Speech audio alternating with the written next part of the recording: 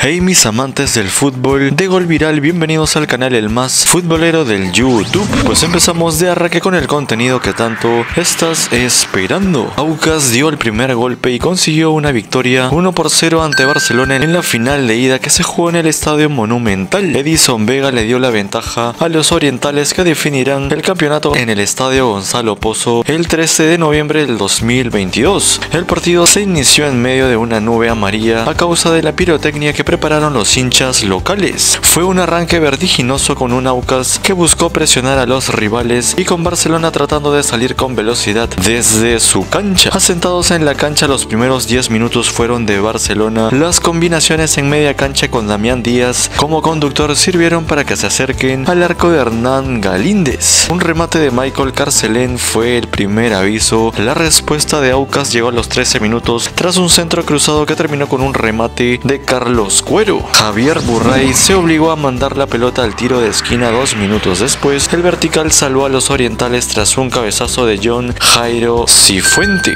A los 19 minutos llegó la jugada más clara de Aucas. Francisco Fidrisewski quedó frente a Burray tras una serie de rebotes, sin embargo su remate salió desviado y se perdió por encima del horizontal. Por un momento se silenció el monumental con el transcurso del partido. La visita controló a Barcelona que no tuvo más acciones de peligro. Para la segunda mitad nuevamente Barcelona trató de sorprender pero se chocó contra la pared que planteó Aucas. Cifuente trató con un remate de, media distancia que se perdió por encima del horizontal. Con 60 minutos transcurridos Aucas se mostraba más tranquilo, logró controlar a su rival. El Barcelona por su parte lucía desesperado y con pocas ideas claras. El ingreso de Caín Fará en lugar de Pedro Perlaza sirvió para fortalecer la defensa visitante. A los 64 minutos cayó el balde de abuelada para Barcelona, pues Edison Vega anotó tras una serie de rebotes en el área del Barcelona. El mediocampista picó la pelota y tras una rápida revisión, el VAR validó la acción. Pese a tener el marcador a favor, el entrenador César Farías no hizo retroceder a su equipo, todo lo contrario, le dio paso a Juan Manuel Tevez y Roberto Ordóñez para mantener ocupada a la saga del Barcelona que no podía salir con la pelota dominada. A falta de 15 minutos para el final del juego, Aucas se quedó con un jugador menos, el zaguero Richard Mina salió expulsado por doble amonestación tras una falta sobre Adonis Preciado. Luis Romero ingresó en lugar de Johnny Quiñones para recomponer la defensa. Parecía que Barcelona podía aprovechar la ventaja en cancha, pero los 84 minutos tras una revisión del VAR el juez Aragón expulsó a Lucas Sosa por una agresión a un rival. Y tú, mi super crack, déjame tu opinión en la cajita de los comentarios. ¿Qué equipo crees que campeone? ¿Será acaso el Barcelona o el Aucas? Comenta en la